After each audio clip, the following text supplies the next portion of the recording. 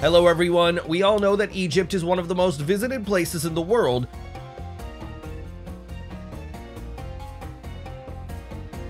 But what do we know about this country? We all know that there are majestic pyramids, the big sphinx without the nose, the popular resort of Sharm el-Sheikh, and famous Hurghada. However, today we will dive into the world history to find out the most exciting facts about ancient Egypt which will definitely make you strive to learn more about Egyptian culture and society. But first things first, let's go!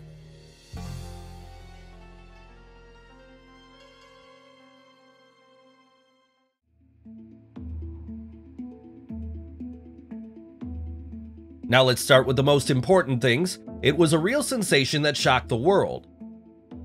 At the end of 2022, after many years of useless searches, archaeologists managed to find a huge ancient city that does not appear in any historical chronicle not far from the legendary Valley of the Kings. This amazing find was made in the Sahara on the territory of modern Egypt. The sands of the desert covered it for several millennia, and to be more precise, it was there for about 3,000 years. Surprisingly, the city has been perfectly preserved. It has not been looted, therefore, archaeologists had a unique opportunity to see how the Egyptians lived in a rich city many years ago, during the period of the power of the pharaohs. By the way, historians suggest that the found settlement was founded during the reign of Amenhotep III. We will find out later if it's true. After all, scientists have to study the developed infrastructure of the city, its temples, palaces, and necropolis in detail. At the same time, archaeologists called their find the Lost City of Gold, and all because of the abundance of gold jewelry and household items found there. So, we have one serious question how did such a magnificent city go unnoticed for so long? According to scientists, it turned out to be abandoned due to some kind of catastrophe like an earthquake or an epidemic. Then it was buried under a thick layer of sand and forgotten for centuries. And only thanks to modern technologies and the efforts of archaeologists, the Golden City was able to see the light again.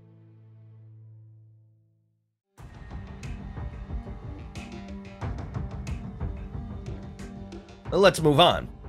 And what about the oldest mummy that was created about 4,300 years ago?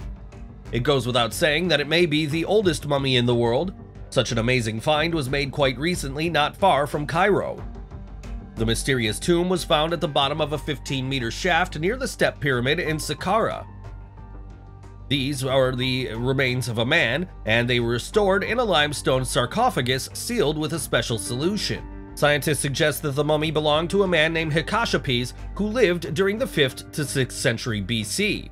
By the way, it wasn't alone in that mysterious tomb. Another tomb was discovered nearby. It was decorated with scenes from everyday life, and it belonged to a priest and overseer of the nobility named Khnumdjedef. He served under the last pharaoh of the 5th century called Unas. And another tomb kept nearby belonged to a man named Mari, by the way, he was described as the keeper of secrets and assistant to the great ruler of the palace. Now there's an active study of ancient remains. And let's see what we can find out.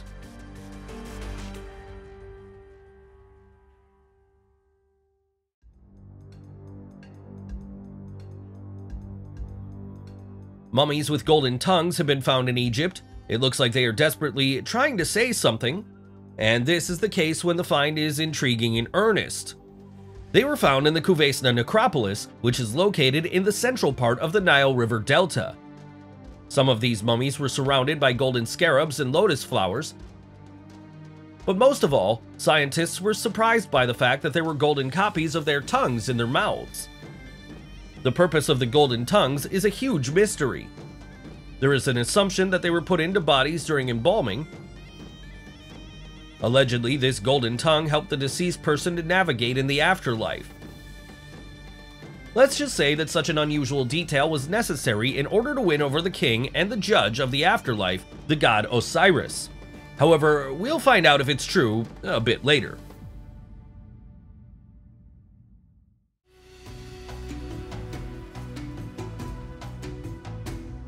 One of the most interesting facts about ancient Egypt is undoubtedly connected with its mysterious rulers. We are talking about the pharaohs who were deities in a certain sense.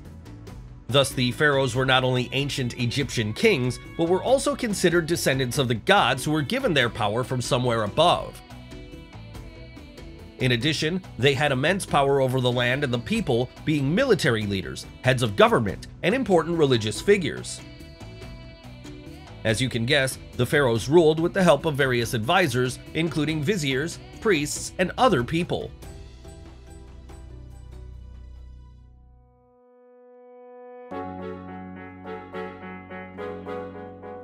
The descendants of the gods and the bearers of their power were at the top of the hierarchy. At the same time, they were followed by their most trusted advisors and viziers, and then by other high priests and nobles. Government officials, soldiers, and scribes made up the next levels of the hierarchy, followed by merchants and artisans. Ordinary workers, farmers, and slaves represented the lower levels of ancient Egyptian society. Also, an interesting fact is that social status in ancient Egypt was inherited, but it could be changed throughout life. For example, if a farmer's son or daughter has learned some other craft through education, then it was possible to climb the steps of the hierarchy and become a merchant, a healer, or take an important position in the government.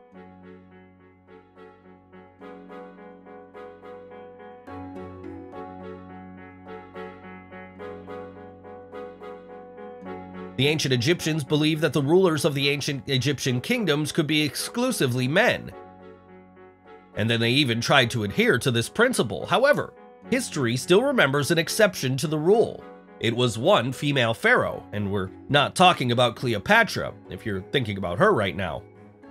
Cleopatra was also one of the last pharaohs of Egypt, but her reign came after the period of ancient Egypt. In the ancient Egyptian civilization, only one woman was considered a true pharaoh. We're talking about Hatshepsut from the 18th century of Egypt. She was the head of Egypt for 15 years, and it was in the 15th century BC. This person is often remembered when it comes to the first great woman in our history.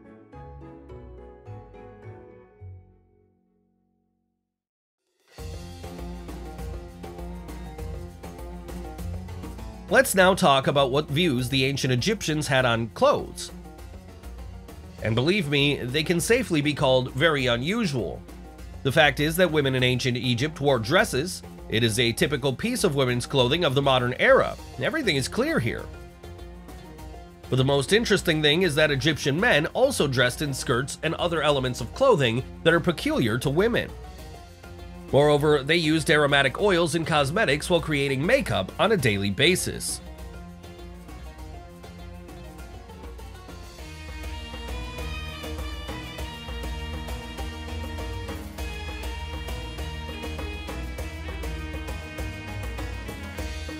When we think of ancient Egypt, two of the most famous names immediately pop into our head Tutankhamun and Cleopatra. That's just, there is one issue here. It turns out that the beautiful Cleopatra actually hails from Alexandria and was part of a long line of Greek Macedonians descended from Ptolemy I, one of the companions of Alexander the Great. The Ptolemaic dynasty ruled Egypt from 323 to 30 BC, and most of its leaders remained Greeks by religion and all other aspects. Cleopatra was one of the first representatives of the Ptolemaic dynasty who spoke the Egyptian language. What an unexpected twist!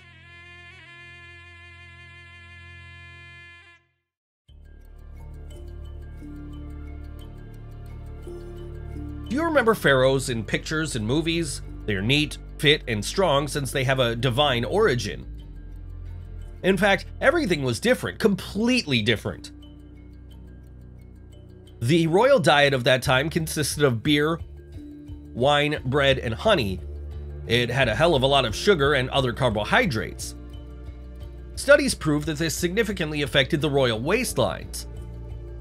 Scientists have studied this topic for a long time and finally came to the conclusion that many Egyptian rulers were overweight and had diabetes. By the way, Hatshepsut is the best proof of this theory, and though the sarcophagus with her remains depicts the legendary ruler as slim and fit, historians still believe that in reality she was quite obese and balding.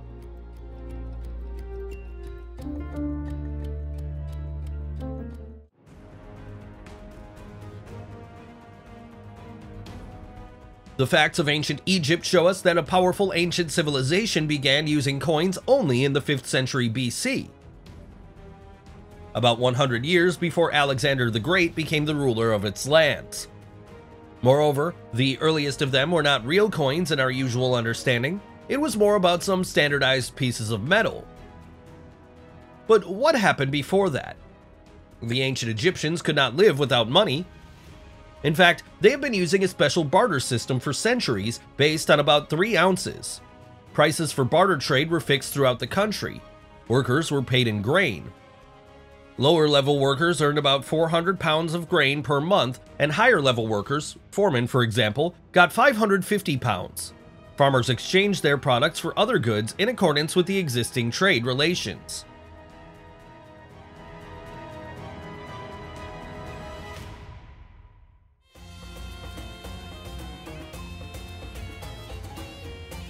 And what about women's rights in those days? In social terms, the role of women was lower than men. But this did not affect the fact that women in ancient Egypt had real legal and financial independence. For example, Egyptian women could easily buy and sell their real estate, could be a part of a jury, make wills, and even conclude business contracts. Not bad, right? Basically, these women supported life and did household chores, However, those of them who worked received the same decent pay for their work as many men. Unlike the women of ancient Greece, who were in fact the property of their husbands, Egyptian women had every right to file for divorce and remarry. Historians have found out that many Egyptian couples had a prototype of a modern marriage contract, where all the property and wealth of the spouses were prescribed before marriage. Why would they do that? Even in those days when a woman divorced, so she could count on some compensation.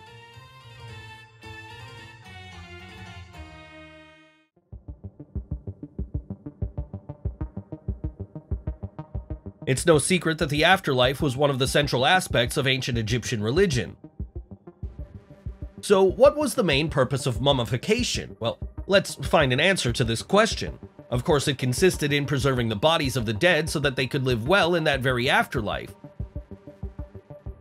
It should be noted that mummification was an absolute luxury of the rich. In addition, the process itself was not easy at all.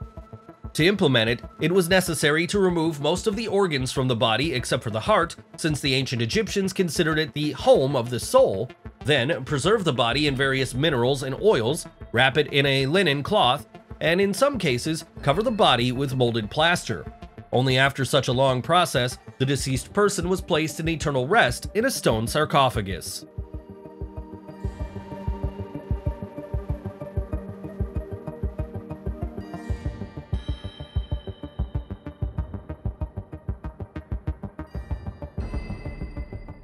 Let's talk about this topic a bit more. Do you know that in addition to the body, it was customary to put various things of rulers in sarcophagi? For example, in the tombs of powerful pharaohs, archaeologists have repeatedly found quite unusual objects that no one ever expected to see in such a place.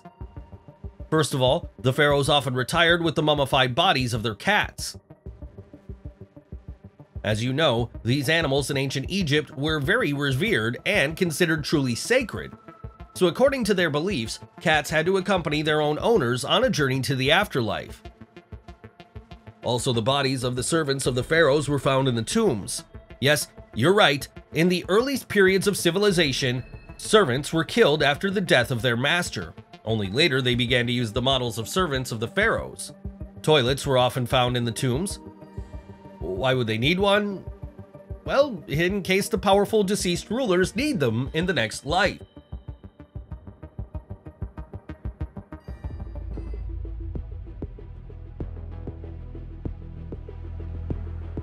Pepi II Neferkare was a pharaoh from the 6th dynasty who lived around 2300 to 2206 BC. He was at the helm of power for a long time. He spent there about 64 years, and during all this time he managed to do a lot. For example, he married five times and established trade with Nubians. But the ancient ruler was a slob and completely indifferent to domestic politics. However, this is not the most important thing. In fact, he hated annoying flies.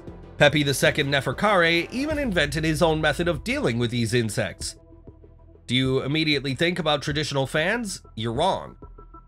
Pharaoh surrounded himself with naked slaves smeared with honey. Flies landed on them, stuck to them, and then they were killed. You understood correctly, these were some kind of live traps for insects. How about the comfort of slaves? Come on, few people were interested in this aspect at that time.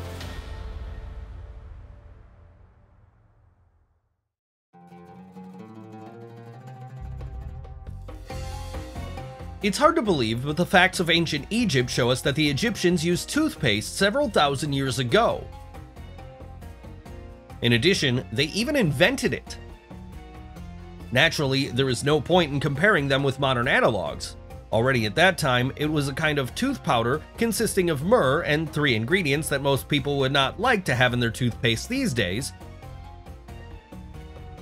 Pumice stone, ashes from bull hooves, and burnt eggshells. What a good recipe. And what about toothbrushes? The ancient Egyptians did not bother much and simply applied a healing powder to their teeth, rubbing it with their fingers.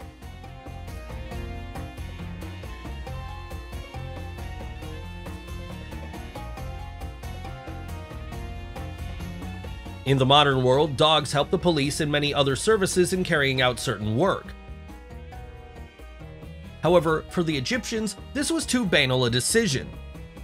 That is why they used baboons as guard animals. Trained animals were often depicted in Egyptian frescoes. The most distinguished of them were even mummified after death, thus giving them the opportunity to get into the afterlife. And primates were also excellent live alarm clocks because they had a habit of yelling loudly in the morning.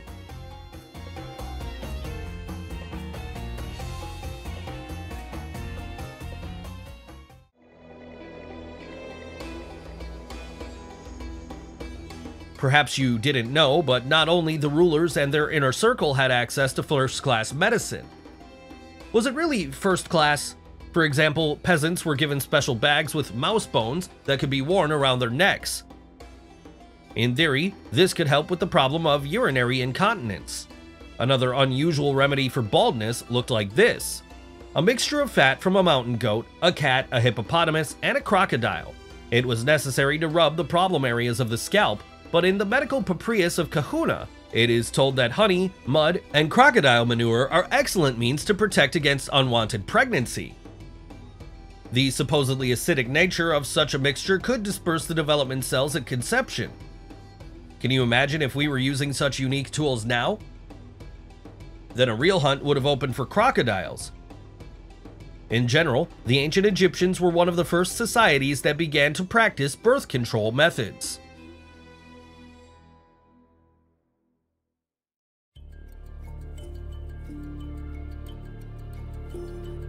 But there were also those in ancient Egypt who should not have worried about the issue of fertility. Of course, these are majestic pharaohs. One of the most prolific rulers was Ramses II the Great. Scientists believe that at the time of his death, when the pharaoh was already over 90 years old, he had more than 170 children. How is this possible? Everything's very simple. The pharaoh lived life to its fullest. He had eight official wives and almost 100 concubines, who bore him 111 sons and 67 daughters over the years. I don't know if this is true, but Ramses the Great clearly wanted to leave a significant mark in history. Even in such a way.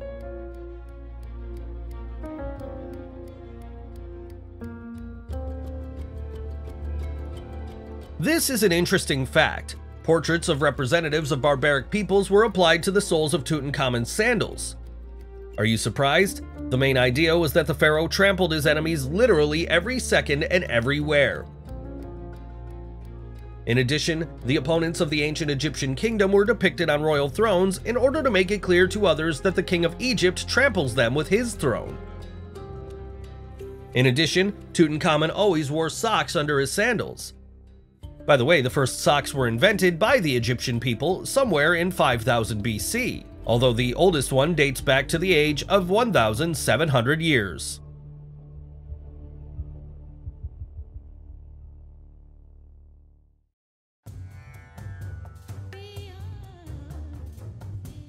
The life of the pyramid builder was not easy. After analyzing preserved skeletons of workers, scientists saw signs of arthritis and other diseases. At the same time, these workers are not slaves at all, but hired people. Yes, among the builders of the famous tombs were both experienced craftsmen and temporary workers, some of whom were very proud of their craft. These people received food, drink, and medical care, and they were housed in camps near the construction site. The work was difficult and even dangerous, so there were tragic cases. Those who died during construction were buried near the pyramid, while slaves would not have been awarded with such an honor.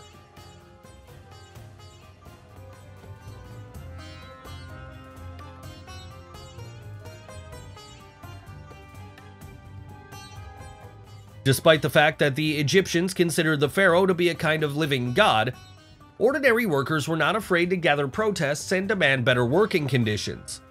One of the most striking examples of this is the case that occurred in the 12th century BC during the reign of the Egyptian ruler Ramses III. During the construction of the royal necropolis, the workers were not paid for the work done.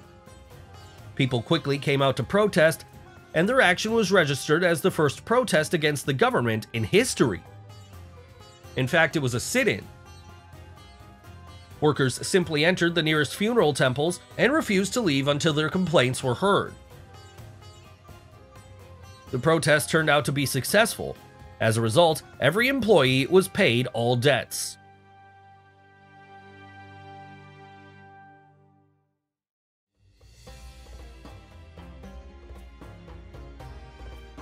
Scientists have made various studies of the body of the young pharaoh, but it was the scan of his skeleton that showed everyone in amazing detail. Tutankhamun was embalmed without a heart and without a chest. It looks strange, especially thinking of the moment about the House of the Soul. Such a significant deviation from the traditional Egyptian burial practice shows us that the ancient ruler could have received a terrible injury incompatible with life. Many Egyptologists believe that the most likely cause of Tutankhamun's death is his meeting with a huge hippopotamus. Most likely he went hunting for a wild animal, and it was not successful for the pharaoh.